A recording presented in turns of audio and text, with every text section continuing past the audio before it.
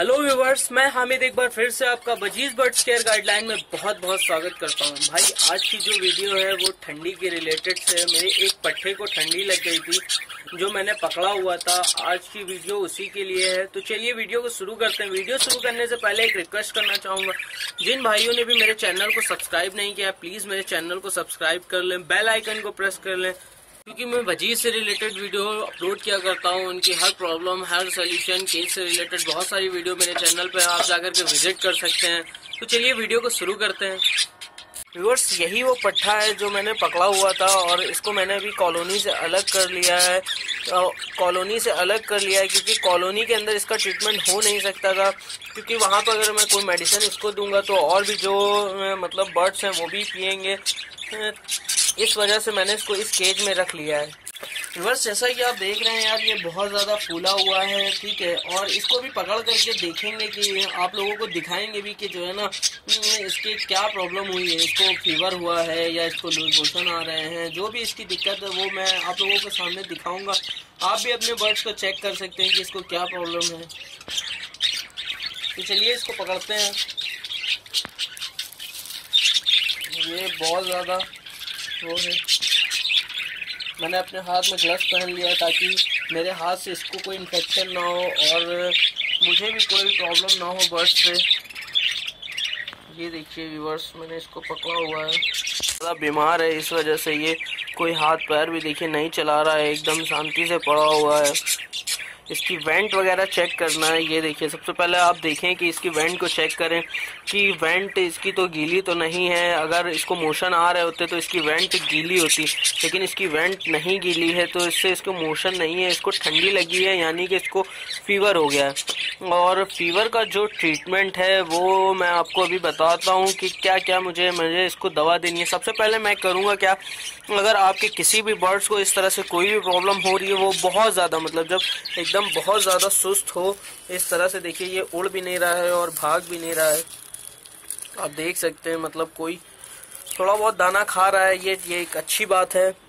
तो मैं आपको बताना चाहता हूँ कि अलग केज में रखने का फ़ायदा ये होता है कि मतलब अगर आपका बर्ड्स इस तरह से बीमार है, जैसा कि आप देख रहे हैं, इसके बहुत ज़्यादा फर एकदम फूले हुए हैं और ये मतलब इसकी आँखों से आप ये देख सकते हैं, चारों तरफ़ इसकी बहुत ज़्यादा मतलब दिक्कत है।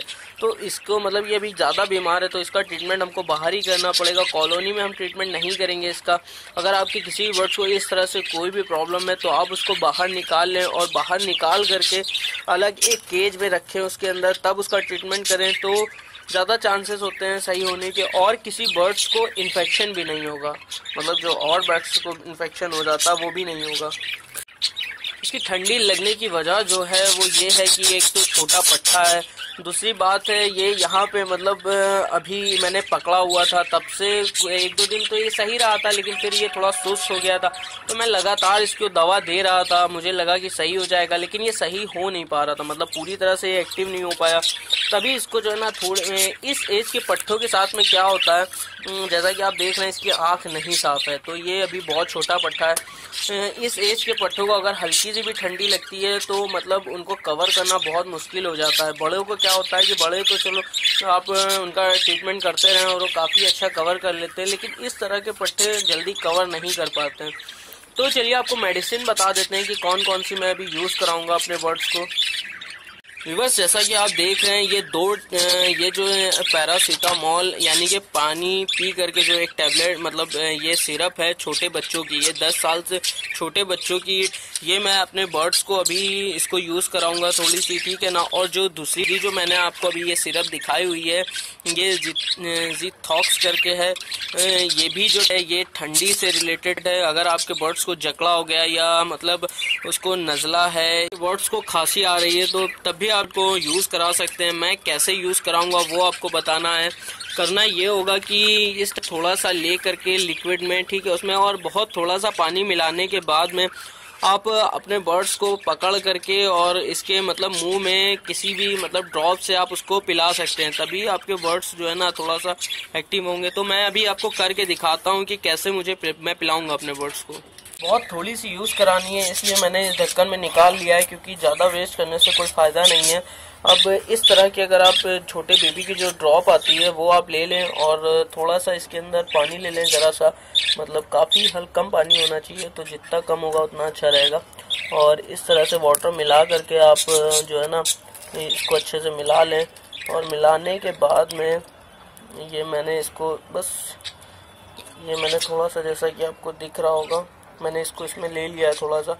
अब इसको पकड़ना पड़ेगा बर्ड्स को और उसके मुँह में थोड़ा सा फ़ीड करानी पड़ेगी। फ़ैन इसको पकड़ो। इसको हम पकड़ेंगे। ये ऐसे पकड़ लो, ठीक है? ये देखिए बिल्कुल भी भाग भी नहीं रहा है। और जो ड्रॉप लाने का अच्छा तरीका होता है वही। अरे, छोड़ दो भाई यार। अरे, इसने अच्छे से उसको पकड़ लिया है। छोड़ो। ये देखिए।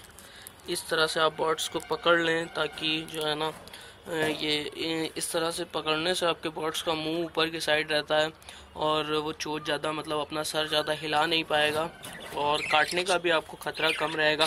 ग्लव्स वगैरह पहनने से हाइजीन की प्रॉब्लम नहीं होती है। इसको ऐसे ऐसे ऐसे फ़ोन को पकड़ो। हम्म, ऐसे पकड़ो ये मैंने ये ड्रॉप में ले लिया है। पिलाएँगे कैसे इसको? खोल दो बेटा चोच। इसकी चोच थोड़ा सा ऐसे खोल करके, और ये देखिए आपको दिख रहा होगा, इसकी चोच पे मेडिसिन लग गई है थोड़ी सी।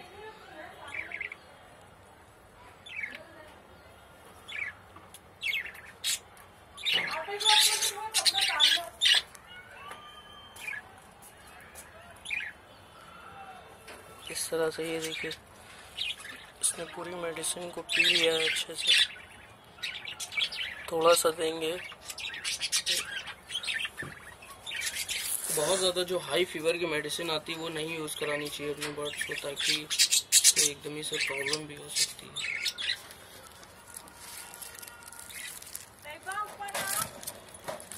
मैंने अब दे दिया इसको। ये मेडिसिन अब एक काम ये करना है कि मतलब हर चार से पाँच घंटे के बाद इसको थोड़ी और मेडिसिन की ज़रूरत पड़ेगी। तो व्यूवर्स आपको वीडियो कैसी लगी? प्लीज़ कमेंट करके बताएँ। अगर अच्छी लगी हो तो लाइक करें और मेरे चैनल को सब्सक्राइब कर लें। बेल आइकन को प्रेस कर लें। And thank you so much